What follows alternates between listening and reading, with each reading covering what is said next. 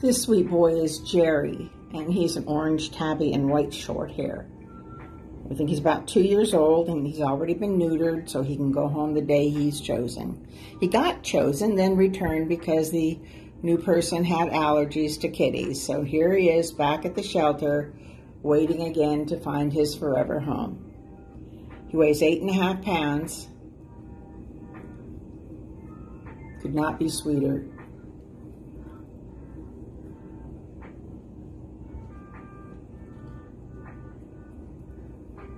Can't wait to find a permanent home where he can get lots of love and enjoy his life. This is Jerry.